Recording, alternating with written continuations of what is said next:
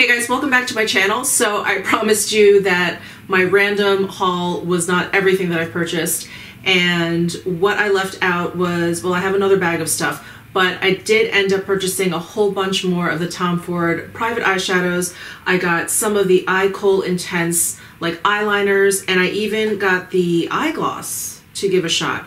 So if you're interested in seeing me try out some of these things for the first time on camera um, and to give you my thoughts and reviews and if you want to see swatches and things like that, then just keep on watching. So a couple weeks ago, I ran out and I purchased um, six or seven of the new Tom Ford Private Shadows. Those are those single shadows, and I fell in love with them. I, you know, at first I was like, What's Tom Ford playing at? Why do I have to buy each shadow like one at a time? I don't understand this. What's wrong with the quads? I think you should come out with bigger palettes. Why singles? I was just going on and on. But anyway, I am all in now. I love them. I have fallen in love with them.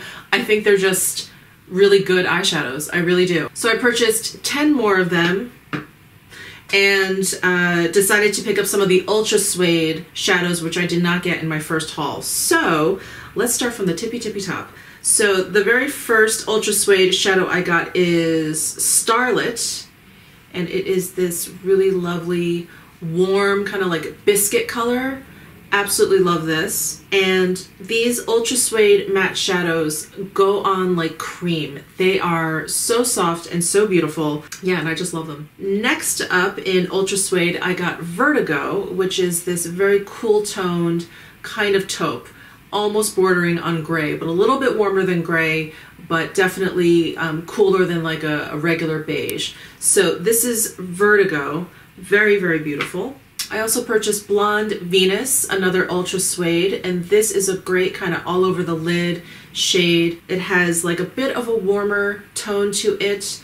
I just love it. It's, again, it's just very, very beautiful, great everyday color. And then the last Ultra Suede uh, color that I purchased is Dark Victory, and it's this kind of deep, dark brown color that leans a little bit cool. The undertone for this particular brown is more kind of gray versus red, so very, very nice. So those are all the Ultra Suedes that I got. Let's move into the suede uh, shadows that I purchased. This one is Hush, and this is just a great kind of satin neutral, great kind of like brow bone or all over the lid shade. Love Hush, and also got Burnt Suede. I don't even know how this one passed my radar the first time around, but this is a gorgeous, gorgeous shade. It is almost like the suede version of Vertigo. So here's Vertigo and here's Burnt Suede. Um, again, Nat on Flower Bomb um, kind of raved about this one and I was like, why don't I have it? So thanks to her, I picked it up. And then the last suede shade suede shade that I purchased is Videotape, and this one is a little bit different. So it's a really rich, uh, dark brown with like a very heavy red undertone. And even though it's part of the suede family, it has micro glitters in it. So the base of it is sort of that demi matte, has a slight satin sheen to it, and then there are these like silver micro glitters in it. It's really pretty, it's a lot of fun. Um, so that's videotape. And then I purchased two sateen finish shades. This one is Iris Bronze, and I believe Mona picked this one up, the Glam Dr. Mona Khan. She picked this one up and she was like, girl, why don't you have that one? I was like, I don't know, why don't I have that one? So I picked this up. She was right. This is such a beautiful bronzy copper color and the sateen finish is is like this suede finish like bumped up a little bit. So it has that satin um, finish to it, but it's just a little bit more reflective. Nothing crazy. Nothing like the uh, vinyl finish. Is that right? Vinyl? I think it's vinyl. Ultra vinyl? Anyway, um, so this is a sateen shade, again, Iris Bronze. And I also got the um, silver screen shade, again, in the sateen finish. Just a beautiful, um, deep, rich kind of charcoal gray color. This is really, really beautiful. It's a great um, one color kind of like smoky look if you want to do that. And then I purchased um, another paillette color and this is in Fire Sign. These were not available um, when they first released all of the shades. This one was kind of missing everywhere. It's out of stock online. Um, it was missing at the Neiman Marcus that I purchased all the other ones at. And um, when I was at the Nordstrom in Chicago, the woman pulled it out. She was like, we just finally got these in. And I was like, yes, yes, please. It's such a beautiful, beautiful color. Again, it's like, it's almost like the Paillette version of this Iris Bronze. It has that same, it's a little bit more um, coppery than the Iris Bronze. So those are the 10 new um, private eyeshadows that I purchased. You can tell I kind of went very super neutral. Um, at first I thought, oh, well, these are such special little eyeshadows. I was going to get like kind of funkier colors or colors that I wouldn't use every day.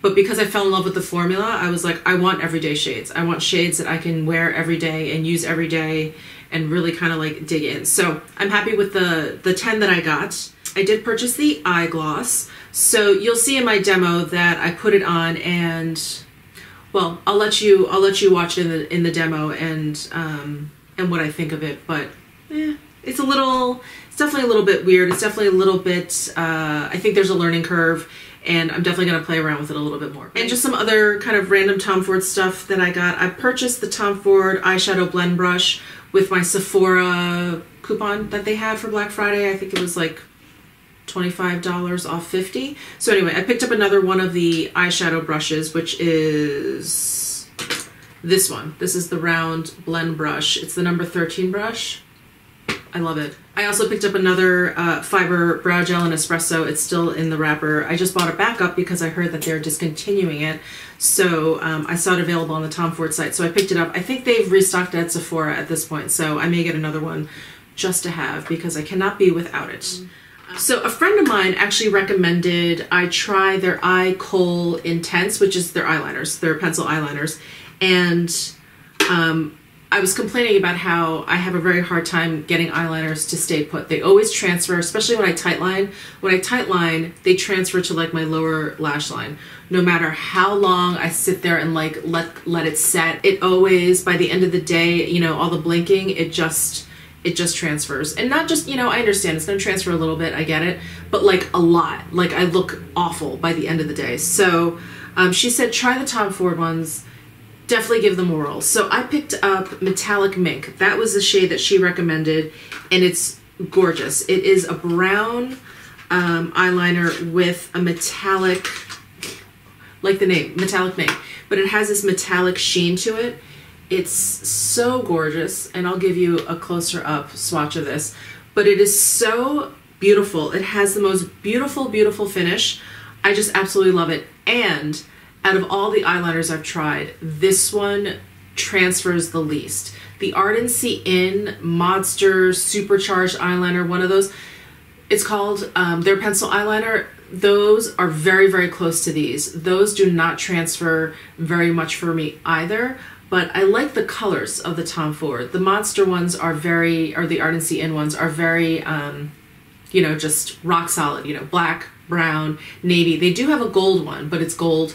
Um, so I like this. I like this brown with like the metallic shift to it. It's very, very pretty. So I picked that up. I also picked up Metallic Moss, and they all come with these uh, sharpeners, these little Tom Ford sharpeners.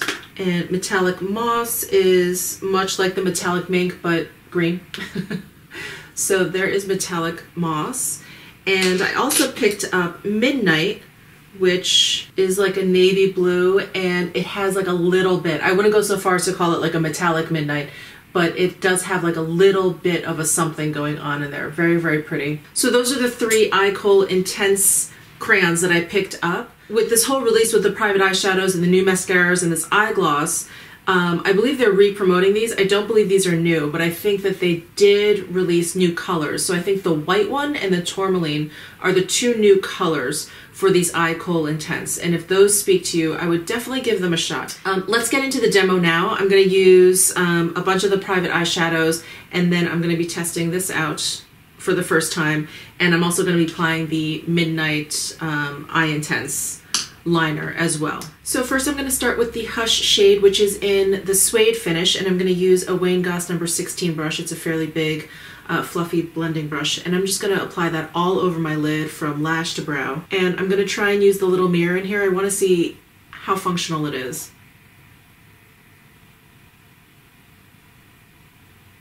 Next I'm going to go in with Burnt Suede, which is another suede finish shadow and I'm going to use a little bit of a smaller blending brush uh, the number 17 by Wayne Goss. And I'm going to focus that on the outer uh, V area of each eye and maybe go into my crease a little bit. Um, and I am successfully using just this little mirror to do this makeup, so maybe it's functional.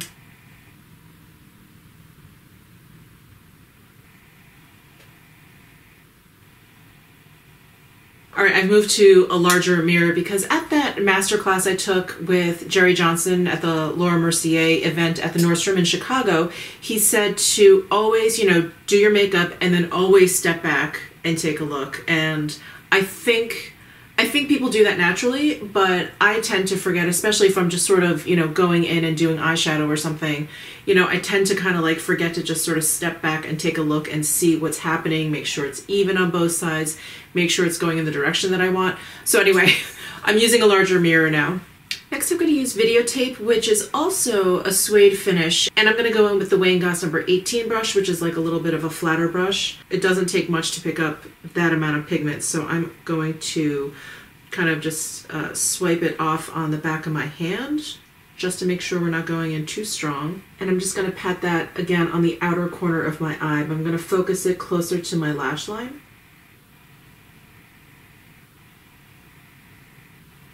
I love how effortless these shadows are. And then I think I'm to try this Vertigo Ultra Suede color. I don't know if it's a little bit too cool for what I'm going for, but I just want to kind of lightly dust that from the inner corner of my lid over to where I stopped with that videotape. I just want to put a nice kind of like base down because I eventually want to put the um, paillette uh, color fire sign kind of in the middle of my lid and then use that eye gloss. So let's give this a shot. I'm going to use a small blending brush. This is the Wayne Goss number 19.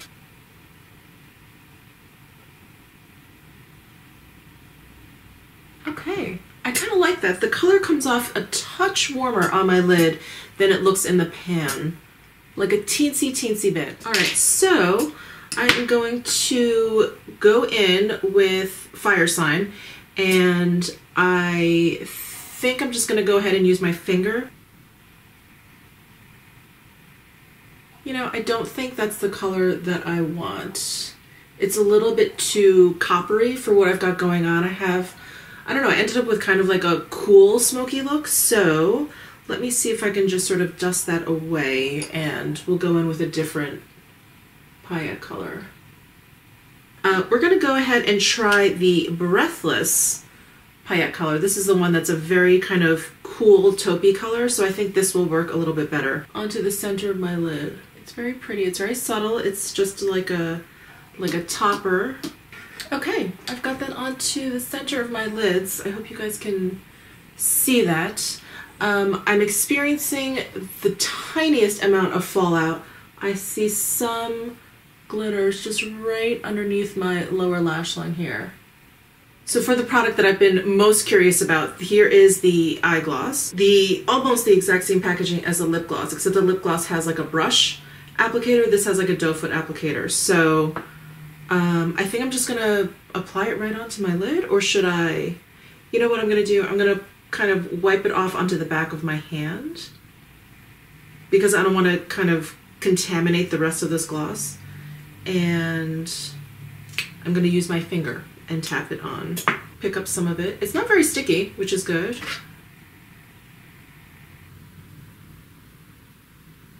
I don't know how I feel about this gloss. I'm also not sure if I'm using it properly, but I feel like maybe I need to use more. Maybe I'm being too light-handed with it. So let's let's try some more.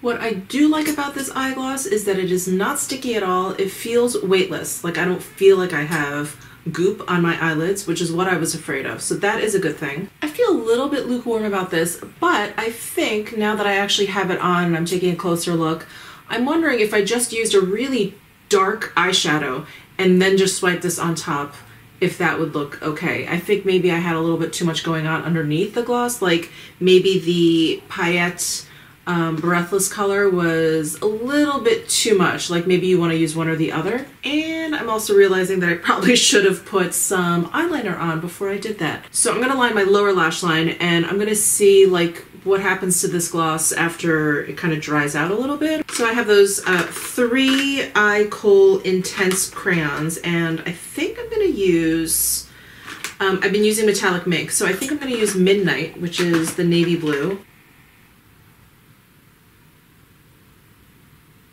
That is very pretty. And I'm going to take a smudger brush and kind of smudge that out a little bit. This is the Morphe M508.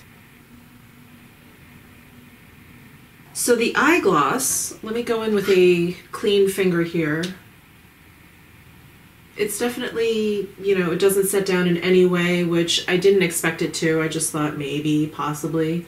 Um, but it's still just there on my eyes. I don't think they do much other than kind of make my eyelids look sweaty. And I feel like it's just sort of melting off the eyeshadow that I had on underneath. I don't know. We'll have to keep playing. All right, let me try and apply eyeliner over this eye gloss. I really did not plan this well, but maybe what I can do is tight line. Okay, I think that's all I can do. It's getting kind of messy up there. All right, so uh, let me curl my eyelashes, uh, put on some mascara, put on the rest of my face, and I will be right back. All right, guys, I can safely say that I really love all of these private eyeshadows that I've tried. The formulas are great. They're just really, really easy to work with, blendable, pigmented, you know, all of the good things that eyeshadows should be. Um, the eye gloss, I'm not sure. I'm not sure about this. I don't think I'm using it correctly, but I also don't think it should be a guessing game. I think, I feel like if you want to just add a little bit of a wet look to your lid, you should be able to just pat some on and be good to go. And you know, it's not sticky, which is great, but I think it should be maybe a little bit stickier. Like it's a little bit too loose. And I think it kind of like moved my shadow around underneath. I don't know. I don't know if I worked it too hard. Anyway, I think this is a no-go, but I am definitely going to keep using it, and if I change my mind about it, I will let you know. So I hope you enjoyed this video. Please give it a thumbs up if you did. Please let me know down below in the comment section if you have any questions, and I will see you in my next video.